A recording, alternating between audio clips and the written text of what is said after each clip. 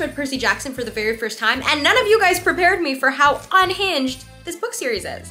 So in honor, I'm starting a new video series with the top unhinged moments in Percy Jackson, starting with this gem.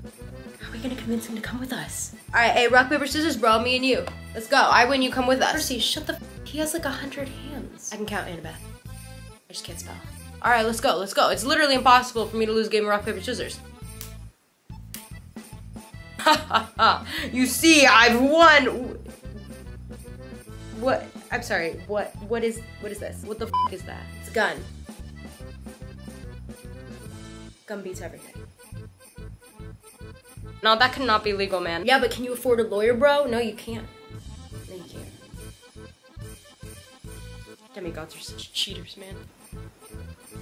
Would that work?